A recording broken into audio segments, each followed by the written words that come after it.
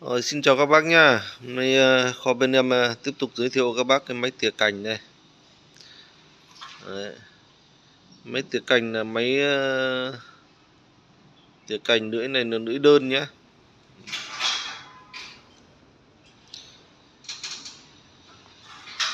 Nhà bác nào mà có cái hàng rào ấy mà dùng cái máy tỉa cành này rất là tiện nhé. Thì làm vài đường cơ bản cái là hàng rào lại đẹp ngay. Đấy. Đây thì trước tiên là cái tay cầm này. Thì nó kết hợp cả công tắc và và và bộ phận điều điều chỉnh ga nhé này. là rất là thuận tiện nhé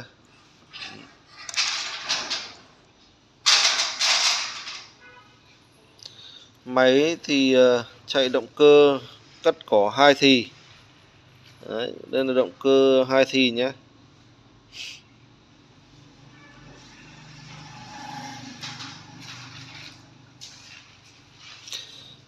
Và đây là một tay cầm nữa này. Đấy các bác có hai tay cầm.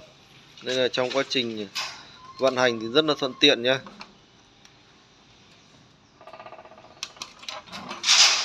Con máy này thì nó rất là nhỏ gọn thôi.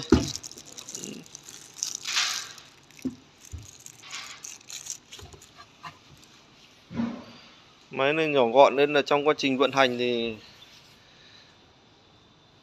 rất là thuận lợi nhé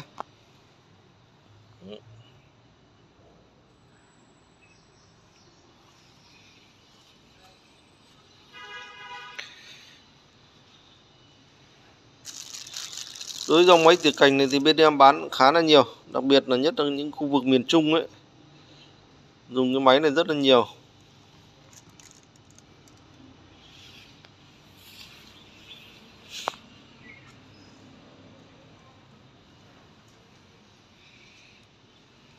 Đây, tay cầm phụ của nó đây. Hai tay cầm. Đây là bộ phận lưới này.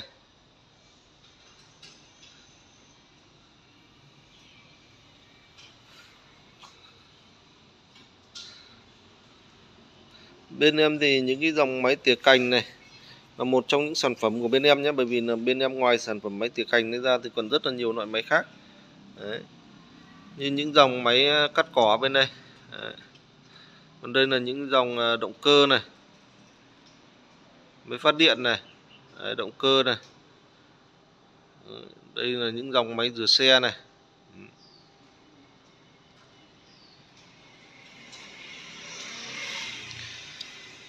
Khá là nhiều sản phẩm để cho các bác lựa chọn. Bác nào mà có nhu cầu về những dòng à, máy nông nghiệp máy xây dựng và những dòng máy phát điện gia đình thì cứ liên lạc theo số điện thoại em ghim dưới màn hình nhé. Bên em thì bán cũng khá là nhiều. Đấy các bác nhìn kho thì biết rồi. Đấy. đây là một góc thôi nhé còn à, bên này nữa. Ừ. Đấy, những cái máy rửa xe này thương hiệu của Hyundai này. Đấy. Rồi, những dòng động cơ này máy rửa xe công nghiệp này máy phát điện này. Đấy. đây trong là những máy cắt cỏ.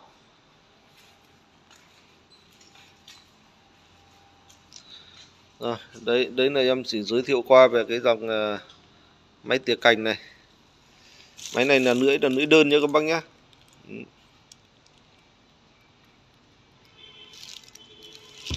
Rồi, bác nào mà có nhu cầu thì ờ, cứ liên lạc theo số điện thoại em ghim dưới, dưới màn hình nhé. Rồi em sẽ kết thúc video tại đây. Chào và hẹn gặp lại các bác những video tiếp theo nhé.